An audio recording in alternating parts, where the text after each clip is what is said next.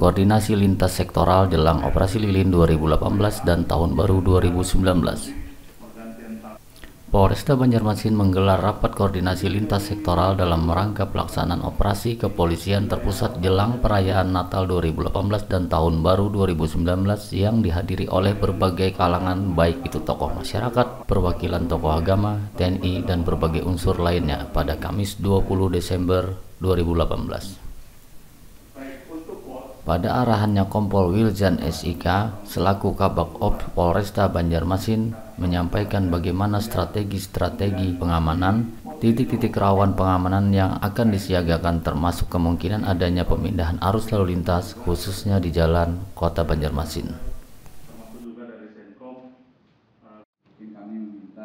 Di akhir kegiatan Kompol Wiljan menghimbau kepada warga masyarakat pada perayaan Natal dan Tahun Baru ini nanti agar sementara bisa mengurangi berbagai macam aktivitas di luar rumah guna mencegah dan meminimalisir segala bentuk kejahatan di dua hari perayaan ini nantinya. Jadi kita sudah laksanakan rapat koordinasi uh, tingkat uh, Kota Madya Banjarmasin yang mana pada hari ini kita laksanakan tadi dari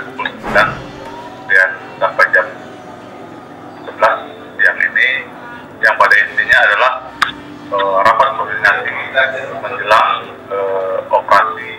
lilin intan 2018 dan pergantian tahun 2018 ke 2019. Kita mengundang dari semua instansi dan stakeholder termasuk juga dari uh, masyarakat masyarakat uh, dari ormas-ormas termasuk uh, dari Banten, PPI, kemudian dari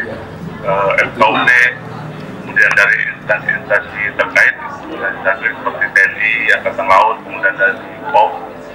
Jadi yang kita harapkan e, dari hasil rakor ini nanti kita sama-sama secara bersinergi e, menja menjamin ketertiban, kemudian kelancaran arus lalu lintas pada masa-masa operasi ini untuk masyarakat Banjarmasin dan sekitarnya kami dari pihak kepolisian sangat mengharapkan kerjasamanya dalam hal ini sama-sama eh, menjaga ketertiban eh, dan keamanan kota Banjarmasin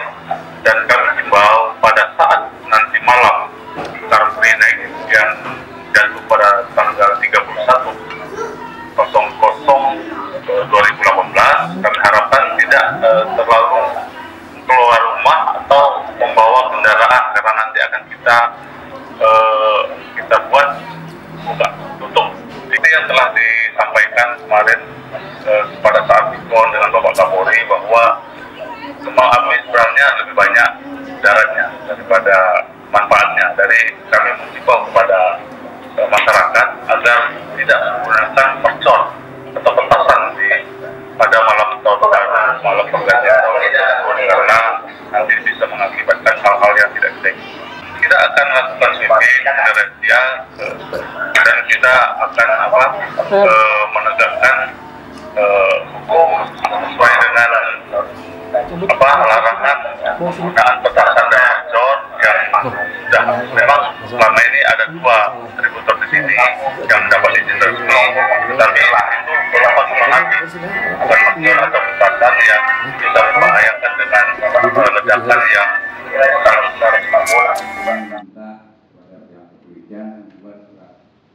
Ahmad Didi, Rian Tribrata TV Banjarmasin melaporkan.